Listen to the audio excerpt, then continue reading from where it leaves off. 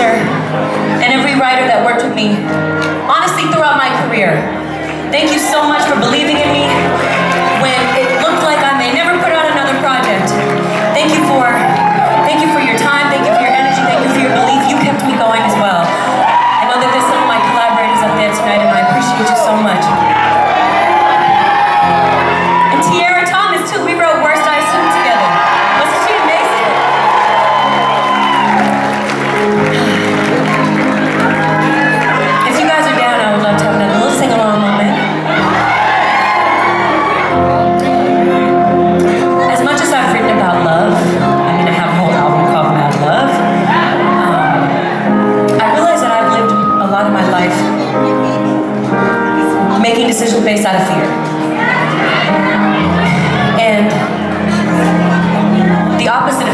love.